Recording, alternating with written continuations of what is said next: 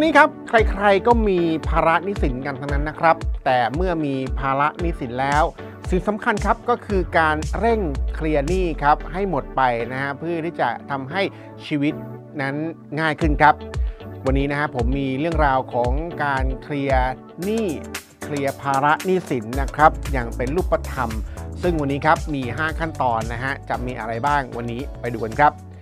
อย่างที่บอกไปนะครับว่าทุกวันนี้ครับเรื่องราวของภาระหนี้สินครับ ใครๆก็มีนะฮะแต่เมื่อมีแล้วเราต้องดำเนินการจัดการเป็นขั้นเป็นตอนครับ ในการที่จะเคลียร์ภาระหนี้สินให้หมดไปนะครับสิ่งสำคัญครับของการ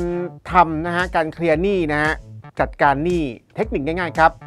ต้องมีเป้าหมายนะที่ชัดเจนครับ มีการวางเป็นขั้นเป็นตอนนะฮะข้อนี้สำคัญนะครับท่านผู้ชมครับ ในการที่จะดำเนินการแก้ไขปัญหานี้นะฮะผลลัพธ์ก็ออกมาชัดเจนครับ แล้วก็เป็นรูปธรรมจับต้องได้ วันนี้ครับผมมีเรื่องราวของธนาคารกรุงไทยนะฮะเขามีคำแนะนำครับเกี่ยวกับเรื่องราวของการแก้ไข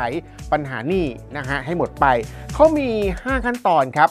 ง่ายๆนะฮะมีอะไรบ้างครับ ข้อ1ฮะก็คือเขาบอกว่าต้องมีการกำหนดนะการกำหนดเป้าหมายที่ชัดเจนครับเป้าหมายที่กำหนดชัดเจนนั้นจะต้องมีการเจาะจงนะฮะแล้วก็วัดผลได้ครับยกตัวอย่างนะก็คือการชำระหนี้ บัตรเครดิตครับ1 0 0 0 0แบาทภายใน 12 เดือน หรือนะฮะก็เป็นการลดยอดหนี้กู้ยืมครับเพื่อการศึกษานะฮะลดลงครึ่งหนึ่งครับภายใน 3 ปี อันนี้เป็นต้นนะฮะข้อ 2 ครับทำครับก็คือการแบ่งเป้าหมายนะฮะ เป็นขั้นตอนย่อยๆครับ หากเป้าหมายนะของคุณนั้นใหญ่แล้วก็ใช้เวลานานครับการแบ่งเป้าหมายเป็นขั้นเป็นตอนย่อยๆนะฮะแล้วก็จะช่วยครับให้เราเนี่ยไม่รู้สึกท้อแท้นะฮะแล้วก็มีกำลังใจครับในการจัดการภาระหนี้สินให้มีความคืบหน้าได้ ยกตัวอย่างนะฮะก็คือการชำระหนี้ครับบัตรเครดิต 10,000 บาททุกๆเดือนเป็นต้นครับ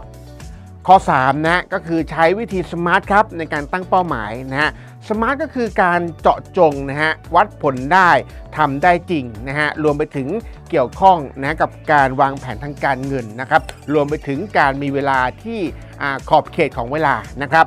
ข้อ 4 ครับคือการติดตามความก้าวหน้านะฮะข้อนี้ครับก็คือต้องบอกว่าเป็นการติดตามครับความก้าวหน้าเนี่ยจะช่วยครับให้คุณเนี่ยวัดผลได้นะฮะว่าเป้าหมายครับที่คุณตั้งไว้เนี่ยครับเป็น ไปได้หรือไม่อย่างไร หรือว่าคุณนั้นได้ทำตามเป้าหมายตามแผนแล้วหรือไม่ควรติดตามครับเป้าหมายทุกสัปดาห์ครับหรือทุกเดือนครับเพื่อที่จะสร้างวินัยครับในการบริหารจัดการหนี้นะมีการใช้ตารางครับปัจจุบันก็มีแอปพลิเคชันต่างๆนะเข้ามาช่วยเหลือในการวัดผลได้ จะทำให้คุณนั้นต้องบอกว่ามองเห็นภาพครับของความก้าวหน้าของคุณที่ชัดเจนมากยิ่งขึ้นครับ ข้อ 5 ครับสำคัญนะก็คือการปรับเปลี่ยนครับ การปรับเปลี่ยนแผนหากมีความจำเป็นครับ ข้อนี้ต้องบอกว่าเมื่อเราเองครับติดตามความก้าวหน้า แล้วก็พบว่าเป้าหมายครับที่ตั้งเป้าไว้นะฮะไม่ได้จริงครับ หรือมีการเปลี่ยนแปลงครับทางสถานะทางการเงินครับท่านผู้ชมครับ เราเองก็อย่าลังเลครับ ที่จะปรับแผนเป้าหมายของคุณนั้นให้เหมาะสมครับ อย่าลืมนะฮะท่านผู้ชมครับต้องบอกว่าต้องมีการฉลอง ความสำเร็จครับเมื่อบรรลุเป้าหมายนะฮะหรือว่าเป้าหมายสุดท้ายครับให้รางวัลครับกับตนเองนะครับเพื่อที่จะยอมรับครับในความพยายาม แล้วก็มีความมุ่งมั่นครับในการที่จะ ตั้งใจนะฮะแล้วก็ตั้งเป้าหมายครับในการชำระหนี้จะช่วยให้คุณเองครับมีแรงจูงใจ แล้วก็ต้องบอกว่าจะมีเส้นทางการเงินที่ชัดเจนครับในการจัดการภาระหนี้สินที่เกิดขึ้น เมื่อเราเองครับตั้งเป้าหมายนะอย่างมีประสิทธิภาพครับแล้วก็ดำเนินการได้อย่างเป็นระบบเป็นแบบแผนก็ไม่ใช่เรื่องยากครับที่จะเปลี่ยนหนี้ในอดีตครับ แล้วพร้อมนะฮะก้าวต่อไปด้วยสุขภาพทางการเงินที่แข็งแกร่งมากกว่าปัจจุบันครับ